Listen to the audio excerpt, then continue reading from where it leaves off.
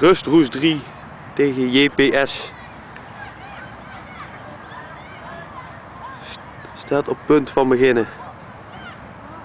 Dennis en Aaron aan de aftrap. Opstelling hier aan de rechterkant met Ernst en Tim.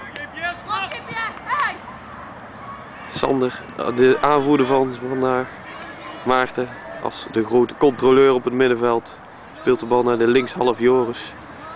En op de linksbackplaats zien wij de gast Bram. En er wordt in het begin tenminste goed getikt. Succes!